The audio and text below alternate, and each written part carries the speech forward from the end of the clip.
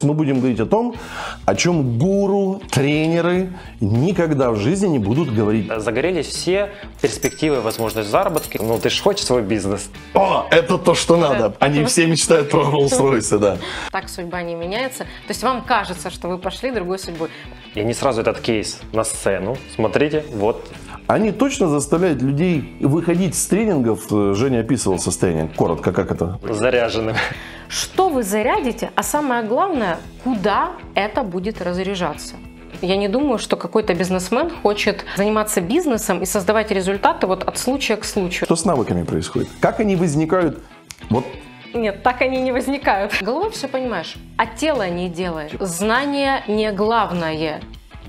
А что тогда? Тот человек, который говорил это, он, вероятнее всего, понимает, что он говорит. Но услышать это можно только, если вы из научной песочницы.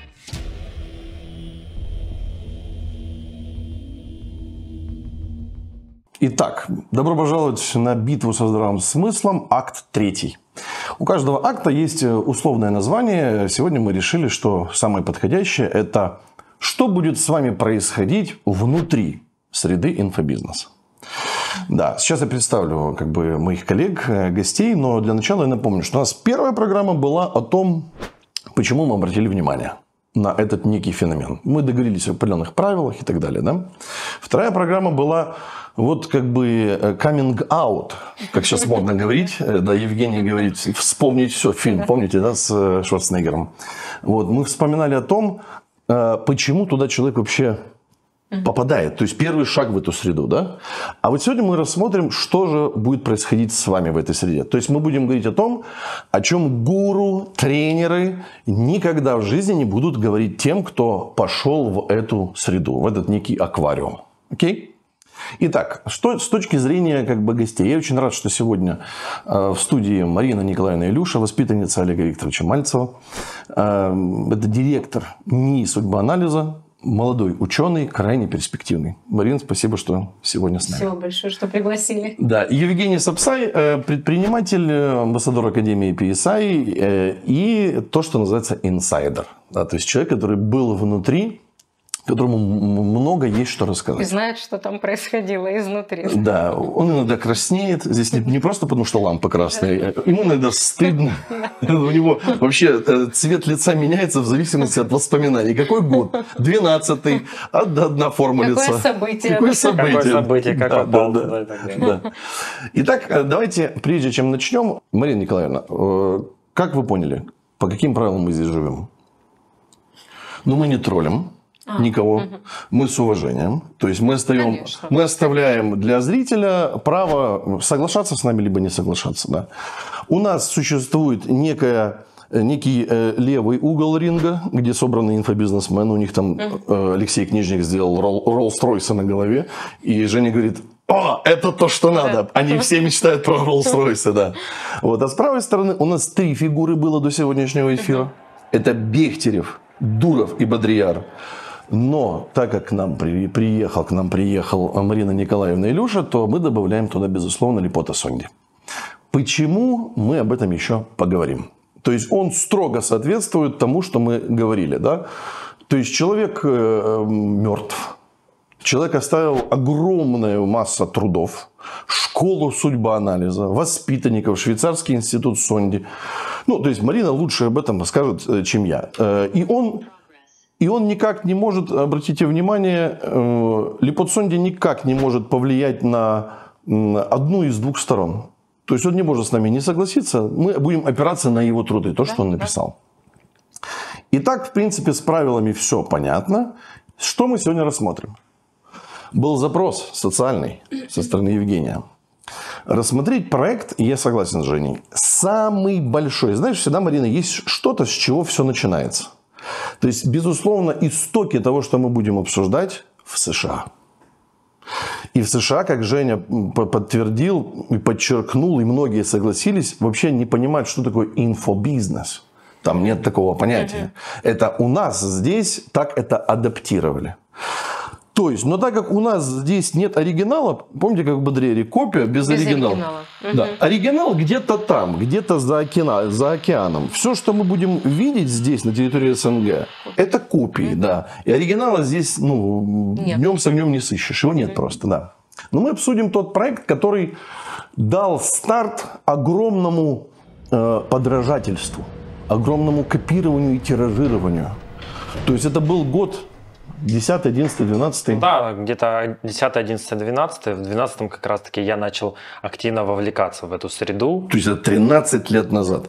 И после этого э, весь этот, ну, э, некий дрессируемый анклав. Почему дрессируемый? Смотрите предыдущую программу. Ре- Рекомендую. Ирина Игоревна идеально, э, вот как ученый объяснила, что в этой среде инфобизнеса условным рефлексом является что, Евгений? Отдавать деньги, правильно Отдавать деньги, да? да, да. То есть это дрессируемая как бы среда. Ирина Игоревна прямо шаг за шагом. Деньги на фантики. Фантики И- потом все равно отбирают. 13 лет дрессировали отдавать деньги. Ну, его чуть-чуть меньше. То есть он понял чуть-чуть раньше, безусловно, что здесь что-то не так. Но, э, вот. э, Но, в принципе, вот этот условный рефлекс, это очень важный. То есть мы идем в тот проект, до которого таких масштабов не было. То есть до этого были отдельные крестные папы, которые породили этот проект. Фамилии мы не называем. Но вот когда это превратилось в стадионы, когда после этого все подумали, если эти двое малолеток это могут это сделать, 23-24 года. то мы, ну, закончившие там, точно можем это сделать. И мы через 3, 4, 5 лет видим засилие. То есть все уже собирают эти стадионы. Причем одного или двоих людей мало. Собирают уже по 20 человек, 30 человек. Ну, чтобы ну, уж точно собрать. Ну, ш- чтобы не получилось так, что ползала. Итак, слово Жене. Э, твое знакомство с этим проектом. А, Мое знакомство с этим проектом а, а, традиционно, мне кажется, для такой среды это было с Ютуба. То есть на Ютубе начали попадаться ролики по теме там, бизнеса, так как поскольку я уже к этому моменту начал как-то гуглить, в Ютубе задавать запросы и так далее, соответственно, мне начало рекомендовать YouTube соответствующие тематические ролики. И там достаточно э, динамичные, энергичные ребята, там, может быть, на пару лет меня там старше. То есть я вижу, что у них а, не только, скажем так, визуально есть деньги, да, то есть э, за ними там уже толпы людей идут. То есть тогда это был там Москва, вообще Россия, да, то есть и а, какие-то а, отголоски были в Украине. То есть э, кто-то начинал об этом говорить, что вот есть такие ребята, там м, покупают себе Rolls-Royce и так далее. И там действительно был э, ролик. э, с почему Rolls-Royce? Потому что у них было конкретное видео, где они демонстративно идут в салон. То есть это Перед- сама цель была, вот купить. Ну да, вот у них как самоцель, и они как бы, у них была Большая приманка. Определенная, да. То есть они говорят, вот поставьте себе большую амбициозную цель. Пойдите в автосалон, по- посидите за рулем автомобиля, возьмите тест-драйв и так далее. А здесь они уже демонстрируют, что они покупают этот Rolls-Royce. Почему-то один на двоих, я не знаю, как они в том- По очереди по катались. очереди. Да, потом они демонстрировали, как они приезжают к родителям на этом Rolls-Royce, то есть вот там дарят какой-то еще автомобиль своим родителям. И они постоянно говорят, вот вы там начинаете что-то зарабатывать, сразу там отблагодарите родителей, там сводите в ресторан, купите автомобиль и так далее. И потом, как действительно как под копирку, все начали э, делать по- по тому же сценарию. Не разгоняйся. Э, Во-первых, идея с Rolls-Royce. Помнишь, откуда у них? Ну, э, в свое время э, Олег Викторович провел массу исследований, в том числе различных эзотерических направлений, в том числе Ошо. У них в некой американской пустыне была главная идея, то есть они были намного более серьезные, чем вот эти вот ребята, чтобы у Оша было 366 Rolls-Royce'ов. Помнишь? да, да. Чтобы на каждый день был свой отдельный пронумерованный Rolls-Royce. Вот откуда вы они Ну, это взяли. Я, я имею в виду, что, ну, может, они, Ну, никак- они никогда понятно, не да, скажут, что ну, прямо, но отголоски, но там серьезный масштаб. Ты же понимаешь, мы 366 Rolls-Royce, Ну это, да. это не один, Это на, не один. на двоих, да. Да. Но прежде чем ты продолжишь, э, Марина, я тебе прислал э, перед э, эфиром определенные видео, образца 16 по-моему, год, 15-16 год. Очень коротко. Вот давай, не вдаваясь в детали, э, ты как ученый, Да, мы здесь все-таки в храме науки. Э, твоя, твое впечатление и некая короткая обратная связь вот потому, что ты услышала, да? Просмотреть этот видеоролик было крайне сложно там час с чем-то, то есть это слушать невозможно, то есть то, что люди там говорят, если не сказать, как говорится, некорректно. Институт да? культуры, помните? Да, Киев. да, да, вот. То есть слушать это невозможно. Почему? Потому что то, что они говорят, знаете, когда люди соприкоснулись со знаниями. То есть что значит соприкоснулись, как соприкоснулись, вот не знаю, мы сейчас соприкасаемся со знаниями или нет. То есть Просто, знаете, масса какой-то терминологии, вот непонятно вообще, о чем они говорят, к чему это все, ну, как говорится, и зачем это все. То есть тоже непонятно. Далее, вот меня удивили э, некие цитаты этих людей, что они говорят, знание не главное. А что тогда? То есть тренер... это, это маленький тизер, потому да. что мы потом будем эти цитаты разбирать. Потому что, честно говоря, вот до просмотра этого видео я не видел ни одного человека из вот этой вот тусовки инфобизнеса, кто набрался бы мужества, вышел на сцену и сказал то, что мы потом ну, зачитаем вслух. Вот здесь нашелся человек, который просто сказал, ребята, не питайте как бы иллюзий. Вот. Но это чуть позже, да. Да, то есть первое, э, знание не, не главное. Дальше, тренер не обязан обладать знаниями или передавать знания. Вопрос тогда, что он должен передавать. Ну, то есть, знаете, это такая вот удобная система, то есть вам знания не передают, вам просто будут давать советы какие-то, что вам делать, а, соответственно, вы всю жизнь будете зависеть от этих людей, которые обязаны, ну, точнее, не обязаны, которые должны вам давать советы. То есть без них вы никуда. Но и у них знаний нету.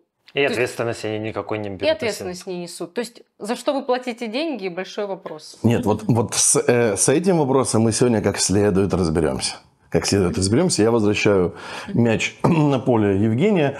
Давай после видеоматериалов, знакомства, если не ошибаюсь, э, было мероприятие в Киеве. Это очень важно, потому что Марина в это время жила в Киеве, и я уверен, что она даже не слышала про все это. Ну, это как параллельные миры просто. Я не ходила ни на какие мероприятия. А, да, примерно 12 наверное, год, по-моему, 2012 год, а, ребята решили открыть Украину. То есть, естественно, если открывать, то надо когда громко. Они поставили цель тогда собрать 10 тысяч человек в Киеве во Дворце спорта. А, по факту собрали порядка 6 тысяч человек по тем данным, которые у меня были. И меня вовлекли, то есть на раннем этапе, когда они начали подготовку мероприятия, у меня а, товарищ, который уже там с ними как бы тусовался, помогал и так далее, позвал в качестве, по сути, волонтера. Ну, говорит, приди, по -по помоги, классная тусовка, ребята, то есть все там молодые, энергичные. Помнишь то, что Ирина Игоревна говорила в прошлый раз? Причастность. Угу. Причастность к чему-то большому, 10 тысяч да. человек. Да, да, да. 10 тысяч человек, уже проект достаточно известен, то есть они уже, уже гремели, то есть это да, э, ну, на русскоязычном пространстве, то есть через интернет очень сильно распространялось. Очень много было последователей, которые там что-то запускали, какие-то бизнесы и так далее. И ну, я вовлекся, то есть я пришел помогать тогда в офис. Они обязательно сняли э, в центре города, э, там на Крещатике у них был офис, э, много ребят, тоже какое-то постоянное движение, движ. Нужно было, так сказать, произвести впечатление. Успеть, а то вдруг, а вдруг не успеешь что-то. Во-первых, да, успеть. То есть, и, ну, меня, естественно, вовлекло, то есть ну, никаких там зарплат зарплатах ни, ни о чем не шла речь, то есть, ну, прийти помочь. То есть, ну, действительно, классная идея, думаю, в процессе с кем-то и познакомлюсь, может быть, какие-то совместные проекты появятся. То есть, меня эта идея вовлекла, поэтому по, по мере возможности, там, совмещаясь с какой-то там другой деятельностью, когда, которая у меня была, я действительно приходил, помогал. А, причем, что ну, на каком-то этапе реально превратился в такому как менеджера по продажам, потому что нас периодически некими группами отправляли там в студгородок, например, в КПИ, где мы ходили с планшетками, записывали контакты людей для того, чтобы вот приходите на мероприятие, а вот ты хочешь свой бизнес, там, я студент там первого курса, ну ты же хочешь свой бизнес, типа да, там зарабатывать, да. все, приходи на мероприятие бесплатно, а вот э, будет круто. Сколько людей собрали? По итогу где-то порядка 60 тысяч человек собрали. Немало. Немало. А, причем, ну, такая инсайдерская информация. Основная сработала тогда рассылка во ВКонтакте. Тогда еще был популярна социальная сеть ВКонтакте, не, не заблокированная в Украине. И, по сути, с, с помощью спама и ботов им удалось, э, скажем так, э, сгенерировать какой-то поток клиентов. Потому что вот эти все э, хождения по университетам или там стенды особо так ну, не, не работали. То есть люди записывались, но потом никуда не шли.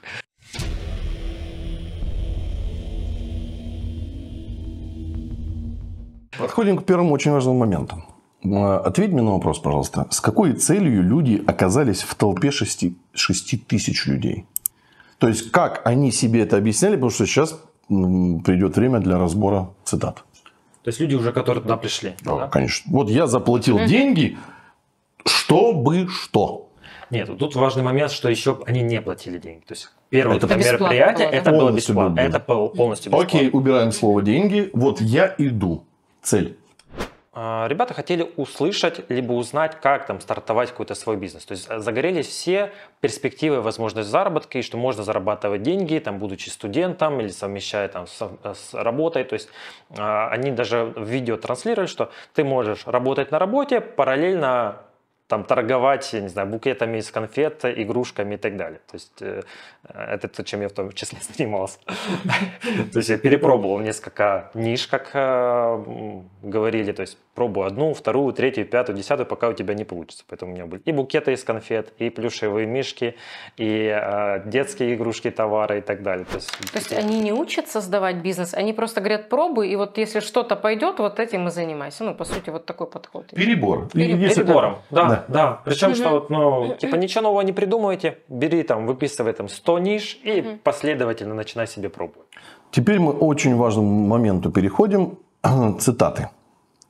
То есть вот собрались люди, на сцене два человека. Возраст был тогда им 23, 24, да, 25. 23, 24. Окей? Это цитаты не этих двоих ребят. Это цитаты человека, который, ну, по сути, их породил. То есть крестный отец, угу. э, в принципе, они сами не скрывают, что благодаря этому человеку они сделали этот шаг. То есть эта связь неразрывна. Просто мы фамилии не называем по правилам. Итак, цитаты. Марина Николаевна здесь э, товсь, что называется. Первое. Тренер не является носителем знаний. Тренер может не оперировать новыми знаниями в принципе. Третье. Знания не являются ценностью. Четвертое. Ценностью является действие, которое совершает человек в ходе тренинга и заменяет парадигмы поведения существующие – на новые. Цель за счет изменения парадигмы поведения изменить эффективность заключения контрактов, управления людьми, прочими полезными деловыми навыками. Марина Николаевна, здесь что-то не так. Здесь прямо, знаешь, как... В каждой цитате что-то не так. Как вот э, лампа красная, она просто вот так вот мигает, да? Нам такого не рассказывали, да. Я думаю, что, э, могло бы что-то э, вот не так пойти, если бы так открыто. Об этом сказали, а если так да. открыто об этом Шести сказали. тысяч не было бы. Да. Ну, они бы задумались, а нужно ли мне это. Что меня здесь смущает? Угу. То есть, э, ну, это глупость несусветная о том, что знания не представляют ценностью. Конечно. Но опять-таки, мы здесь в храме науки, здесь не надо долго объяснять. Ну да, что... Меня здесь смущает один очень э, подлый фокус. И я именно подчеркиваю подлый. То есть тот человек, который говорил это, он, вероятнее всего, понимает, что он говорит. Но услышать это можно только, если вы из научной песочницы. Если бы Олег Викторович нами не занимался так, да. возможно, мимо ушей бы, бы не услышали. Просто да, не услышали. Всего. То есть, еще раз, смотрите, в чем здесь подлость этого фокуса? Потому что первая часть это открытое верломство. А вот подлость изменение парадигмы поведения, по их мнению, угу. должны изменить эффективность определенных навыков управления людьми, самопрезентации, заключения контрактов и так далее. Без знаний, без навыков там и так далее. Именно, то есть одна да. лишь изменение парадигмы поведения, сейчас да, мы будем разбираться, о чем идет речь, должна привести к этому. Марина Николаевна, вам слово, я замолкаю. Ну, первое, то есть э, модель поведения и навыки – это разные вещи. То есть, скажем так, надо разграничить. А, то есть, когда мы говорим о модели поведения, да, ну, скажем так, прежде чем что-то мы будем менять, было бы неплохо понять, как оно устроено. Да? Вот это самая модель поведения, которую необходимо изменить. Устроена она несложно, всего лишь с четырех компонентов. Это, по сути, некая система координат, в которой находится человек, некая ситуация, то есть та система, которая... Дворец спорта, в котором ты тогда находился, Да, 6 тысяч человек. Некая система. Дальше роль, то есть кто вы в этой системе координат. Волонтер. Волонтер, да. Дальше. Вы совершаете там какие-то действия, поступки и говорите какие-то слова. То есть, по сути, третий элемент – это двигательно-лингвистические цепочки. Поступки Промоушен и слова. в данном Да, случае. промоушен. И четвертый элемент – это ориентир. Ориентир, то есть то, на, скажем так, на что вы ориентируетесь. Дело в том, что из ориентира потом распакуется другая система координат, в которую человек как раз-таки попадет. Вот вам сказали, да, вы придите, вы живете в одной системе, побудьте волонтером, совершите ряд каких-то действий, и вы окажетесь в неком другом положении дел. Вот, по сути, что вам говорят. Но вам так не говорили, то есть говорили вот совершенно по-другому. Ближе к Роллс-Ройсу, да? Конечно, конечно. Да, да. То есть ориентир, да. Да, откуда Rolls-Royce? В прошлый раз, еще раз, посмотрите прошлую программу. Ирина Игоревна ну, так смачно описала, что такое вкусняха, что, что такое да, предрасположенность, почему у собаки у человека она, и вот что общего в данном случае, да, просто Вкусняшка, посмотрите. человек готов Да, да. да, выполнять случае- команду. Да, да, да. То есть модель поведения, в принципе, понятно. Да, я имею в виду устройство понятно. Да, да. Допустим, мы ее меняем. Да. Предположим, да, то есть перемещается в другую систему координат, другие ориентиры и так далее. Что с навыками происходит? Как они возникают? Вот Нет, так они не возникают. То есть даже если вы измените модель поведения 10 раз, 20 раз, не знаю, будете менять каждый день э, на новую. То есть э, навыки, они обретаются. И модель поведения, скажем так, она не влияет на обретение навыков. Ну, скажем так, вот изменил модель поведения, и у тебя изменились навыки.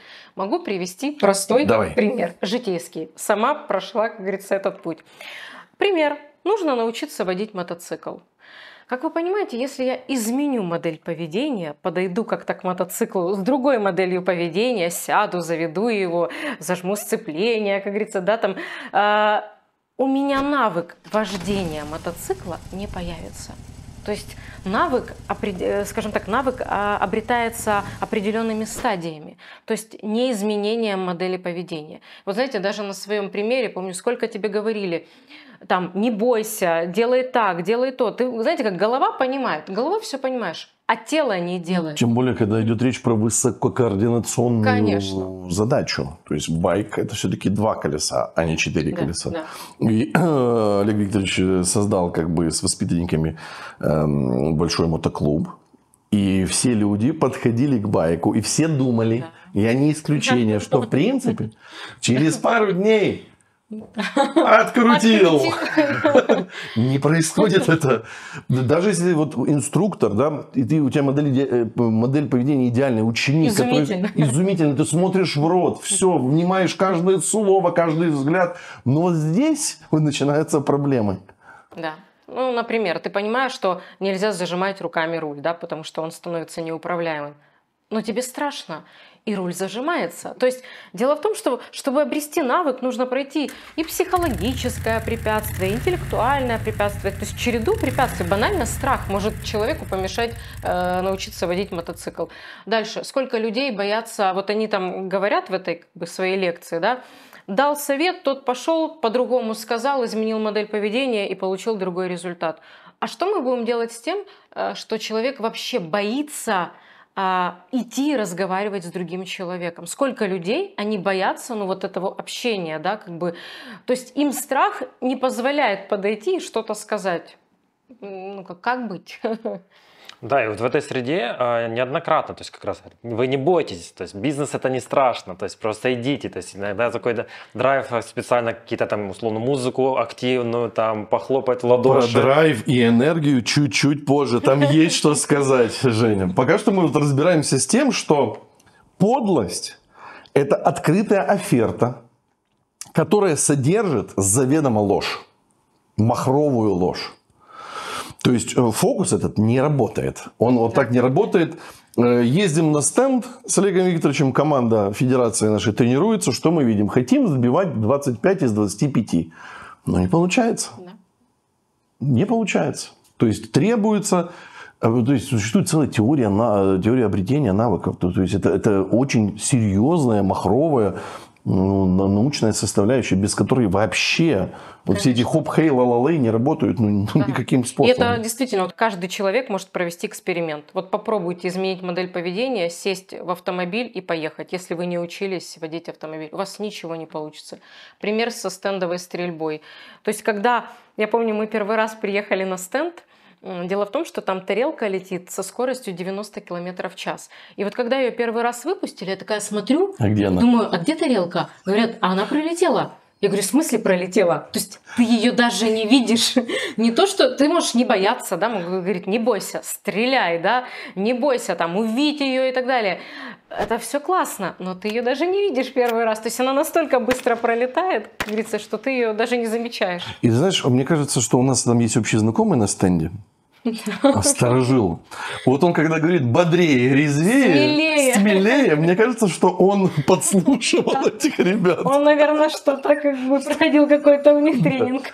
Жень, а вот то, что мы сейчас говорим, разве это не очевидно вот было даже вот в, том, в тот момент времени? Вот скажи. Не очевидно. Ну, есть же ребята, которые вроде как вместе со мной пришли, сделали плюс-минус то же самое, и у них почему-то получилось. То есть у большей части там обычно не получалось, но были вот эти ребята, которых по каким-то стечениям обстоятельств получается. Значит, скорее всего, причина во мне. То есть не, я не так изменил модель поведения или что-то не так сделал, то есть недостаточно хотел, недостаточно там мотивации или еще чего-то. А, потому что были ребята, которые раз, два, три, у них какой-то контракт, сделка и так далее, там, условно, там, мальчик, девочка, там, 19 лет, раз там, э, не знаю, там, грузовик щебня про продали и они сразу этот кейс на сцену. Смотрите, вот за прошлую неделю там, там на 10, 20, там 50 тысяч гривен, контракт готов, все, заработал. Ну, знаешь, у меня такое впечатление, вот в бильярде есть понятие «дурак». Удар, когда ты ну, не предполагаешь, что какой-то вот пятый шар угу. куда-то упадет. И случайно. Но он попадает, потому да. что стечение обстоятельств. И в принципе за каждым столом эти шары периодически залетают. Теперь, если эти столы поставлю рядом, и на, каждого дурака буду подсвечивать как пример, угу. то есть ориентир, э, пример для подражания, то ну, может человек действительно в это поверить. Но если он как бы не разбирается глубоко, глубоко не, не было времени разбираться особо ни у кого. Ну, и здесь, знаете, вот вопрос, то есть эти люди, они занимаются бизнесом. Я не думаю, что какой-то бизнесмен хочет, а, знаете, вот заниматься бизнесом и создавать результаты вот от случая к случаю, да. Вдруг получилось, выстрелила класс, не выстрелила, минус деньги. Ну, то есть, когда мы говорим о бизнесе, все-таки это должна быть управляемость. А здесь ее нету, как бы, и мы это видим. Вот Абсолютно нет. Более того, я через какой-то промежуток времени анализировал все вот это, в том числе успешные кейсы, там, сайты и так далее, и, ну, через год их, э, а то и меньше, их уже не существует. То есть ни этих сайтов, ни этих продуктов, которыми они занимались и так далее. То есть ну, там уже телефон давно в отключке. Идем дальше.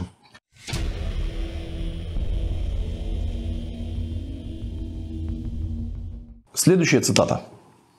Тренер создает энергоинформационный конструкт, Марина Николаевна, уже страшно, который внедряется в человека, представляешь себе, себе, распаковывается. Вот это уровень.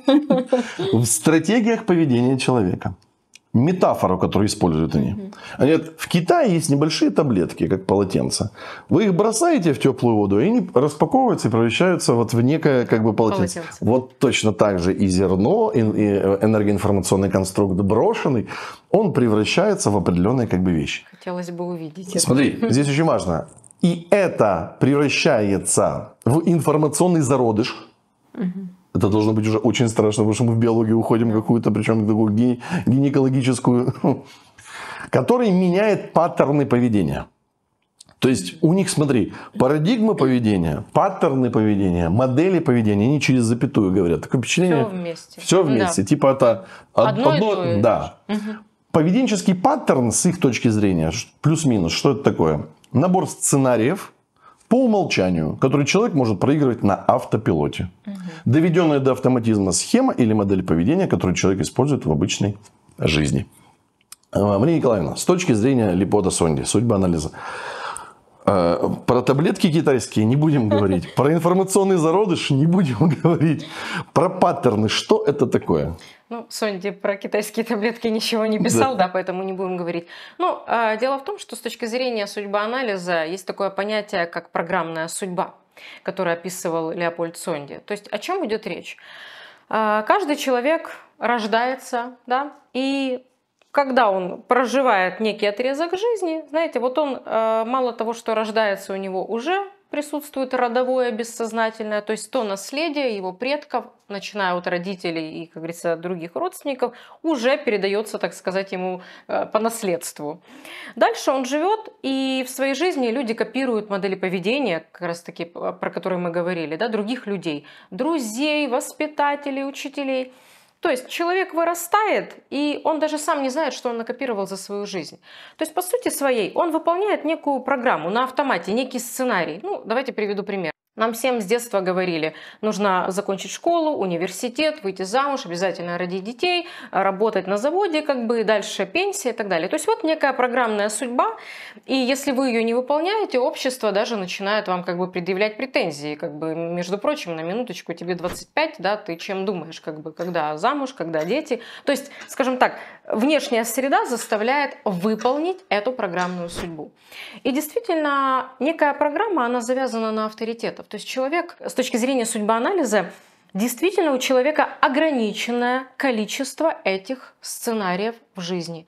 И когда люди говорят, что я хочу там изменить жизнь, с понедельника я все начинаю вести себя по-другому, то есть он всегда переключается э, между вот этим ограниченным количеством сценариев.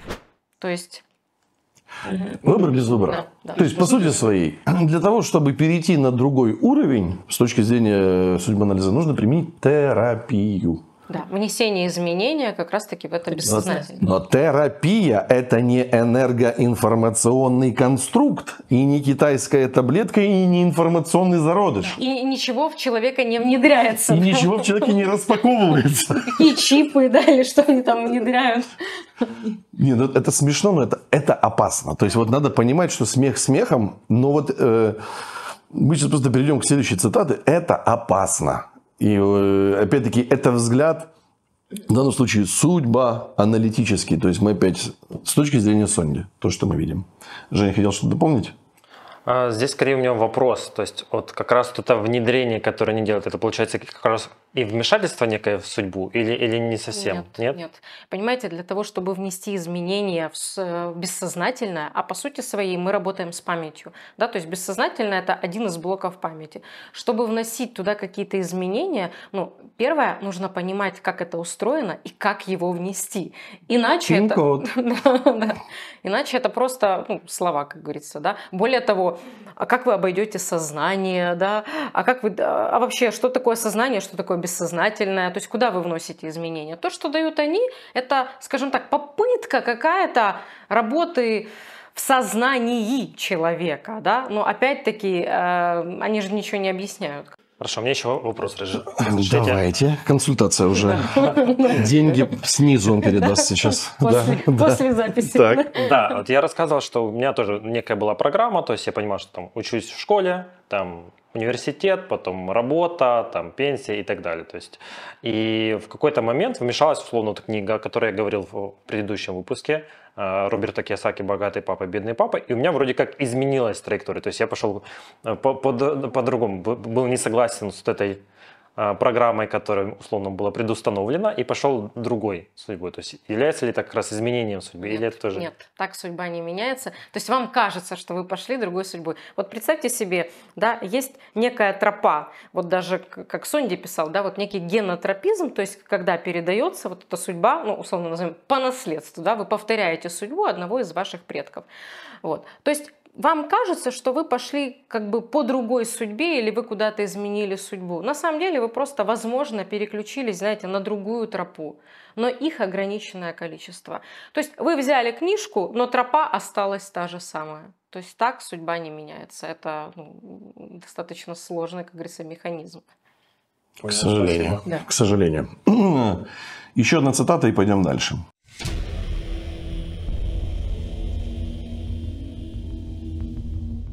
Речь идет о знаниях, которые заряжены энергией. Люди заряжаются этой энергией и начинают действовать и менять свои паттерны. Я не буду, боже, сохрани, проводить параллели, хотя так хочется. То есть конец 80-х, начало 90-х, люди, которые заряжали энергией Алан Чумак Вот, и Анатолий вот. Кашпировский. Я вчера просто специально открыл видео. э, Сеанс Да, терапии да. номер 78. За- Заряжаем. Да. Но я даже, ну, это будет оф топик Главное, вот энергии и меняют паттерны. То есть, смотри, по сути своей, они точно заставляют людей двигаться и выходить с тренингов. э, Ну вот э, Женя описывал состояние. Коротко, как это выглядит. Заряженным. Заряженным. То есть У делать, есть- да, делать, да. надо бежать. У меня есть пример. А, Один знакомый, когда еще жила в Киеве, он проходил какой-то, я не знаю, тогда это назывались тренинги личностного роста, какие-то ступени. Я, я точно не знаю, куда он ходил. Вот он- Лидерские программы. Лид- Вот, точно, лидерские программы. И он приводил пример, что его там так прокачали и зарядили, что он на неделю ходил а, по Киеву, по городу с крылышками ангела, вот на работу человек, это взрослый человек, На полном серьезе. на полном серьезе. Он говорит, вот мне было все равно, я одевал крылышки и шел как бы вот, может быть, так заряжают. что-то знаю. такое же было, что ли? Что ты смеешься? Э, Смеюсь, потому что были а, тоже другие уже тренинги, где там, ну, по сути, заставляли э, ходить в каком-то, то есть, например, парню в женском платье, там, накрасить Вот, скорее шею, всего, там, это или было еще это. чем-то. То есть для на чего рас- это, на конечно, раскрепощение. То есть, непонятно, ну, да. Была идея раскрепощения, то есть э, понять, что всем на тебя наплевать на самом деле, то есть все страхи только в тебе там и так далее. Окей. С Странно. чем мы имеем дело здесь с точки зрения судьбоанализа? Что они заряжают и что потом человека разряжает, да? Ну, я не знаю, что заряжают они.